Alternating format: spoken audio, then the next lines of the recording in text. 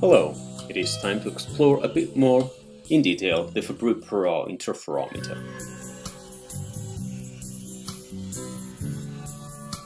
Let's continue where we left it in the previous video. We define the reflection and transmission coefficient as the ratio of the reflected and transmitted amplitudes of the electric field over the incident amplitude. We also found Stokes relations that relate the reflection and transmission coefficients. Uh, we'll define reflectivity and transmissivity, capital R and capital T, as the reflection coefficient squared and as the product of the transmission coefficient from medium 1 into medium 2 and from medium 2 into medium 1, Tt prime.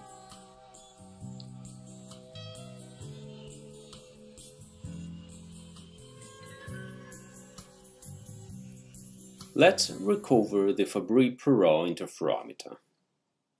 Two partially reflective plates parallel where one of them can be moved and light coming from a light source entering in the interferometer and being reflected successive times inside of it. We call E sub i to the incident amplitude of the electric field. The amplitude transmitted into the interferometer will then be t times e sub i.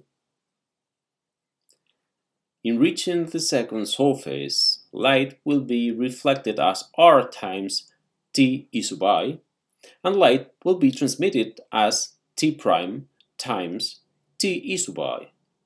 Light will be reflected again as r squared t e sub i, and light will be transmitted again as r squared t prime t e sub i and so on.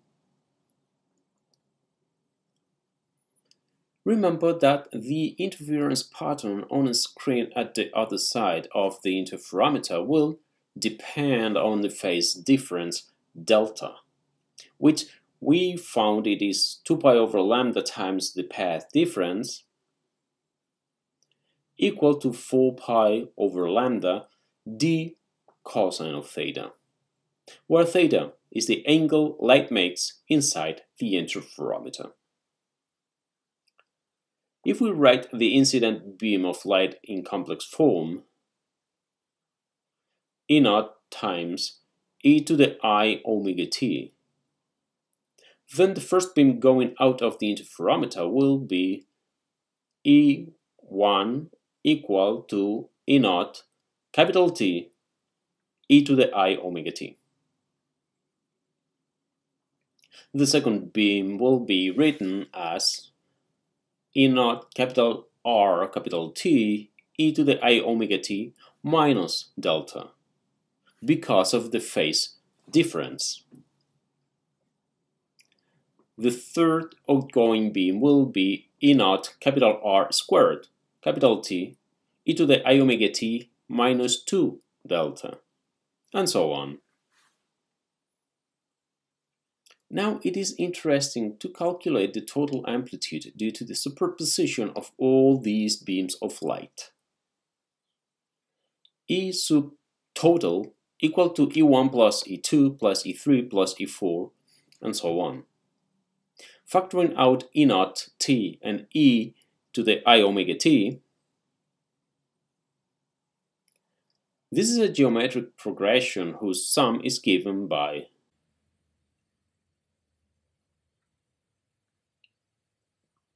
the total irradiance is the square of the electric field. Because we are using complex notation, this will have to be E times its complex conjugate E star, for which we change the sign of the imaginary terms.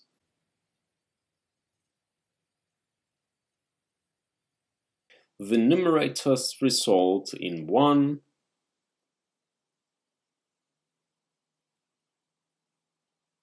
This sum of complex exponentials in the denominator can be arranged using Euler's equation. I sine of delta cancel back into the expression for the irradiance.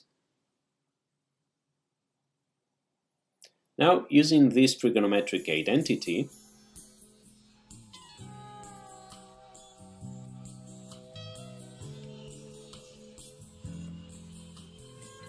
we can arrange 1 plus r squared minus 2r as the square of the subtraction, factor that out in the denominator. This is the Airy formula. It gives the irradiance in terms of the incident amplitude, the phase difference, and the reflectivity. In the case where there are no losses, that means all light is either transmitted or reflected, there is no absorption of light in the medium, then we have that T plus R is 1. This is the ideal situation, but sometimes it is not the real situation. Then it all simplifies. From where we can calculate the maximum irradiance when the sine of delta halves is 0. And the minimum irradiance when the sine of delta halves is 1.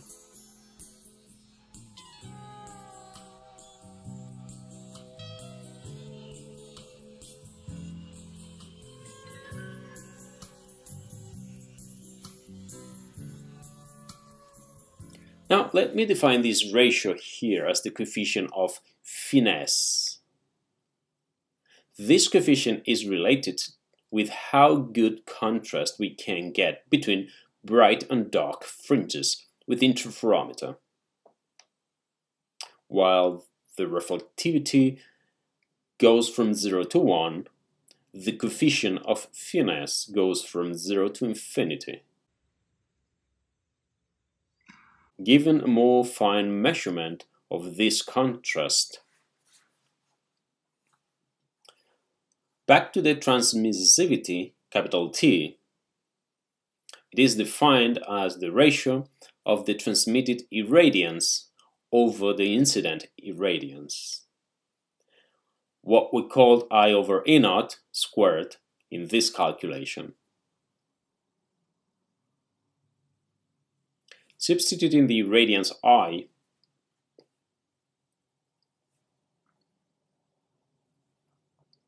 And when there are no losses, then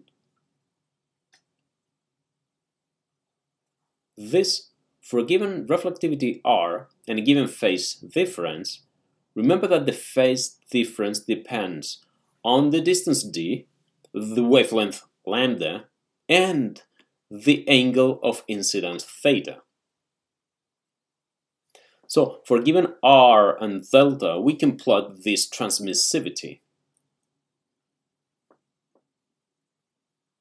While we can see that the contrast between bright and dark fringes is very dependent on the reflectivity, but for a high reflectivity we get to obtain very high contrast, a very good visibility. The higher the reflectivity, the narrower the transmissivity peaks. This interferometer gives better profile of the transmissivity than the Michelson interferometer. May science be with you.